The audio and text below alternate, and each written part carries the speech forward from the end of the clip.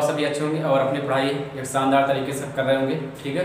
तो चलिए आज हम आपके सामने एक शानदार ट्रिक लेके आए हैं, ठीक है? तो उस ट्रिक का जो यहाँ पे बोर्ड पे लिखा है क्या?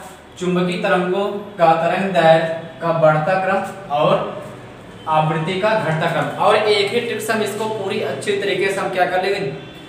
पढ़ेंगे और एक ही ट्रिक से आवृत्ति का घटता क्रम और तरंग का बढ़ता क्रम जान लेंगे। ठीक है? तो वो ट्रिक क्या देखिए, आइए हम आपसे डिस्कस करते हैं। तो ट्रिक बहुत शानदार है आपकी। ठीक है? एक ही ट्रिक है और एक ही ट्रिक से हम दोनों चीज़ को याद कर लेंगे। तो ट्रिक क्या है आपका?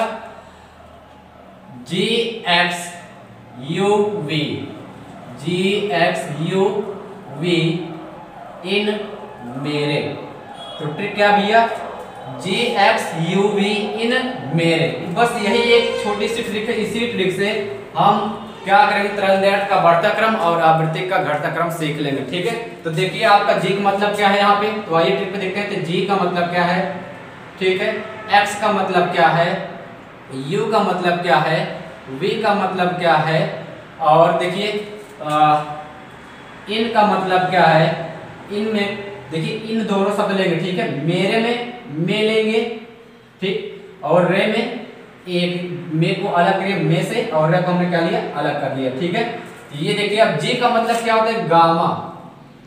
जी का मतलब क्या होता है? गामा किरण। या गामा तरंग ठीक है? गामा तरंग लिख दे रहा हूँ, ठीक है? तो गामा तरंग, यानी गामा किरण ठीक है? जी का मतलब क्या हो गया?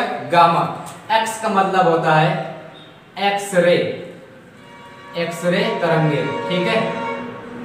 एक्सरे तरंग, ठीक? यू का मतलब होता है आपका अल्ट्रा वायलेट यू का मतलब क्या है? अल्ट्रा वायलेट यानी कि जिसे हिंदी क्या कहते हैं? पराबैगनी किरणें परा बैगनी किरणें पराबैगनी किरणें, ठीक? वे का मतलब होता है विजुअल विजुअल मतलब दृश्य। विजुअल मतलब दिखाई देना। तो वे से आपका विजुअल यानी कि दृश्य प्रकाश तरंगे। दृश्य प्रकाश तरंगे। ठीक है? तो जे का मतलब क्या है? गामा तरंगे। ठीक? एक्स का मतलब होता है एक्स रे तरंगे। ठीक है? यू का मतलब होता है पराबैंगनी किरणें। ठीक? वी का मतलब होता है आपका दृश्य प्रकाश तरंगे। इन का मतलब होता है यहाँ पे इंफ्रारेड इनका मतलब क्या होता है? इंफ्रारेड इंफ्रारेड का मतलब होता है औरक्त औरक्त किरणें या तरंगे, ठीक है?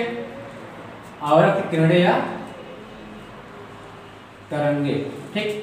मे से मतलब होता है आपका माइक्रो मे से मतलब क्या होगा? माइक्रो माइक्रो मतलब होता है सूक्ष्म। यहाँ पे होगा आपका सूक्ष्म तरंगे सूक्ष्म तरंगे। रे का मतलब होता है रेडियो तरंगे। रे से क्या है आपका यहाँ पे संदर्भ?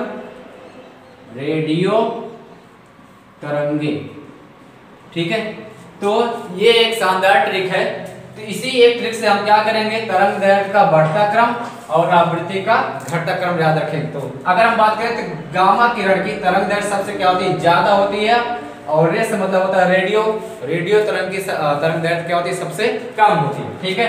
और आवृत्ति की बात किया जाए तो गामा तरंग की, गामा जो तरंग है उसकी आवृत्ति सबसे क्या होती है?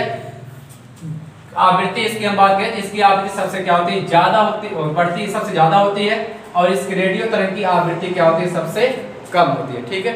ये एक सूत्र है, या इसी ट्रिक से आप इसको याद रख सकते हैं, ठीक है? तो बस आज का एक ट्रिक है, धन्यवाद।